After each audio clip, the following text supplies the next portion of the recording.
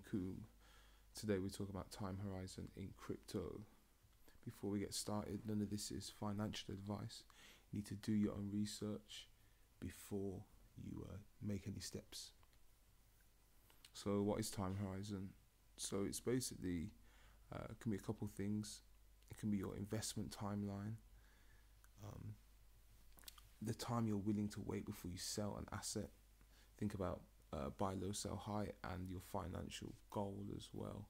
Maybe it could be like retirement or buying a house or um, yeah, saving it for a car or something like that. So I just put down some ideas of like um, legacy finance, like what they consider short, mid, and long term. As you can see, like less than three years is like short term. Uh, three to ten would be mid term, and then more than ten is is long term. So for short, you could think about like putting down a deposit for a house. Um, it's something you want to do within three years. You got mid uh, to like three to ten years, so that could be like paying off debt, like your student loan or something like that, over ten years.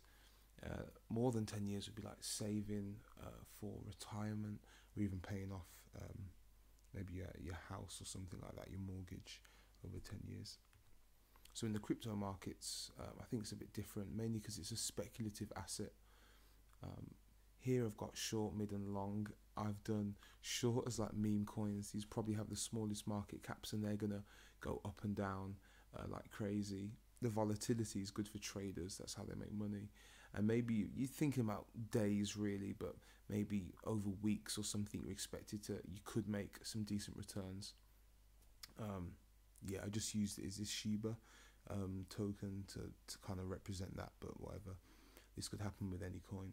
Midterm, I got Bitcoin now. People talk about Bitcoin being like, you know, like holding it and being a like, like long term play, and I guess it is. Um, I put years here because, um, yeah, I think that's what people, you know, may have. That's kind of like the mindset of like, yeah, they're gonna they're buying low and, and selling high. Uh, they want to hold it for a while and they know they might not make money tomorrow from it, but they do think that it will trend upwards over time. And then this is like long, the last one, and I put like the curve token here because this is where you've like locked it away for for four years. So the price of the token really doesn't like affect you. You don't plan on selling it for four years minimum. Um, and really you could like leave it in there to create um, you know create income through this way through like the, the curve me- uh, mechanism uh, called that the lockor so you've got the trader ho- hodler or I just call it holder in it and uh, the lockor sick. So the trader just wants to make some money exploiting opportunities as they arise. Problem with this is that most fail and um, I don't really want to play in this game. I'm most susceptible to market volatility.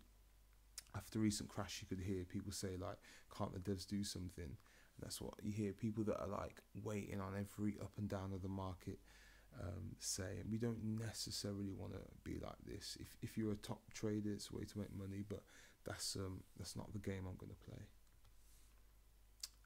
Uh, who said crypto was stressful? I'm 21 and I feel great. Yeah, what a great meme. So uh, that kind of sums it up. Um, the midterm buy low, sell high. So I got some coins here. I've got um, this is Luna, this is Cardano and Solana. So, you know, maybe they're waiting over um, year, maybe months to years. These coins have pretty, uh, these are long term plays, but um, yeah, in, in this instance, we're just holding it. Um, it could experience massive gains. Uh, people can often be overexposed to the markets in the midterm. Maybe they want to try and make money in a year, um, and that doesn't always work out. Bear markets can definitely last over one year. So, um, in, you know, imagine if you bought at the wrong time, the, the, the peak of the previous bull run, it take you a long time to even make your money back um, because you're just holding the asset and hoping that it will go up with time. And then once it does get to a, a, an amount you think is is reasonable to sell, you sell it. But then what do you have? You've got dollars, but what are you going to do with them? Like, it's not necessarily. Um,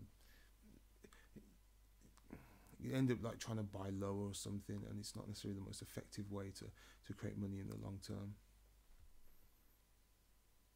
Come on, do something.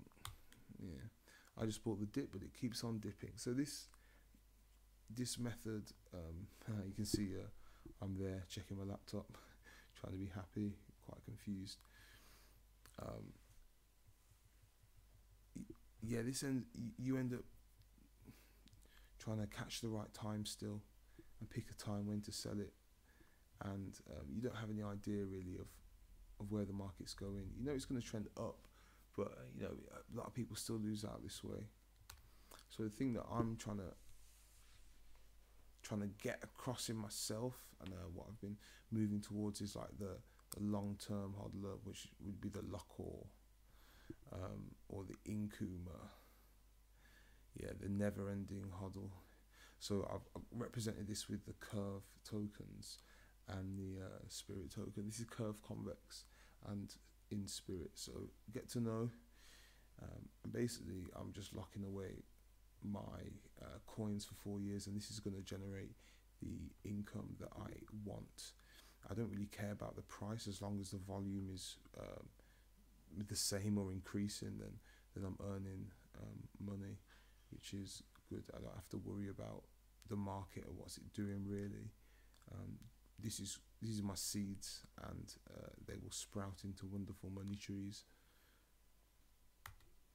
Passive income uh, does nothing all day, earns income, earns income from telling others how to earn income. I'm earning, I'm earning income. Has a choice of a million up front or 10 cent each month. Always picks option B. Well, you know what, this 10 cent, 10 cents each month here.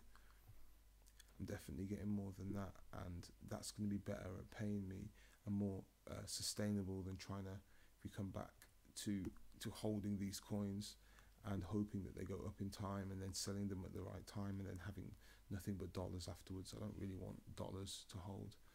Whereas here, I'm going to be generating something every month, and hopefully from that, I can either pay bills or uh, buy other coins. So I think that is it. Just remember what I said.